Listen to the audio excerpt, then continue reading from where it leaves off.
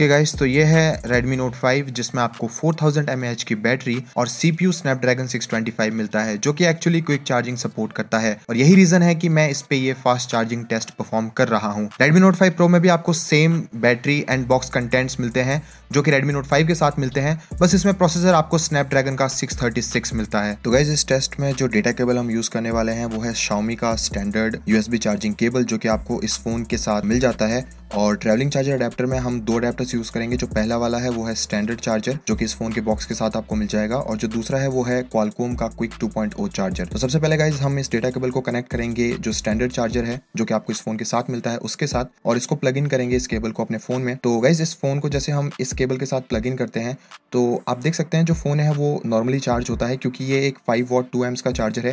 यानी कि ये क्विक चार्जर नहीं है। तो ऐसे में यहाँ पे आपको चार्जिंग आइकन में, यहाँ पे आपको क्विक चार्जिंग का सपोर्ट देखने को नहीं मिलेगा। तो यहाँ पे जो चार्जिंग आइकन है, आप देख सकते हैं, जो स्टैंडर्ड आइकन है, वही शो कर रहा है। और इसका मतलब ये है कि ये चार्जर क्विक चार्जर नहीं है। वो आप इसकी रेटिंग को देख के भी पता लगा सकते हैं।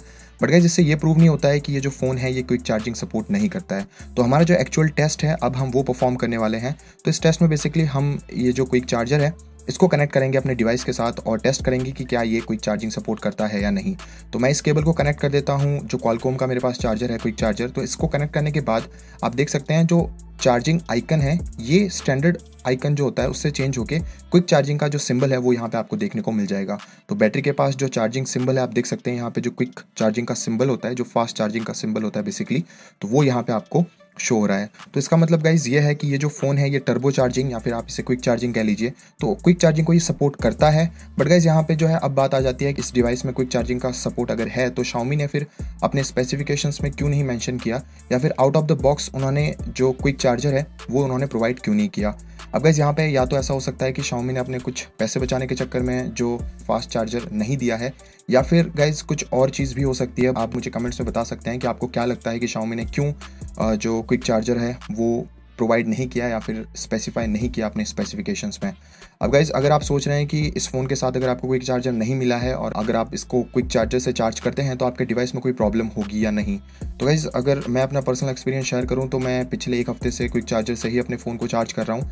और जहाँ तक बात रही बैटरी के टेम्परेचर की तो टेम्परेचर जो है वो नॉर्मल रहा है। अगर सी पी जेड से अगर आप देखें तो इस फ़ोन का जो टेम्परेचर है वो almost twenty nine degree Celsius पे ही रहा है, जो कि काफ़ी स्टैंडर्ड टेम्परेचर है। और इसके साथ ही गाइज़ जो चार्जिंग टाइम है, वो आपको क्विक चार्जिंग में बहुत ही कम टाइम में चार्ज हो जाता है। ओवर एंड ऑल ये जो डिवाइस है, ये क्विक चार्जिंग को सपोर्ट करता है। तो ये मैंने यहाँ पे आपको प्रूव कर दिया है। तो अगर आपको ये वीडियो पसंद आई है then please hit the like button और अगर आप मेरे चैनल पर नए हो तो जो राइट कलर में सब्सक्राइब बटन है, उसे भी प्रेस कर दीजिए। So thanks for watching this video guys I'll catch you in my next video till then take care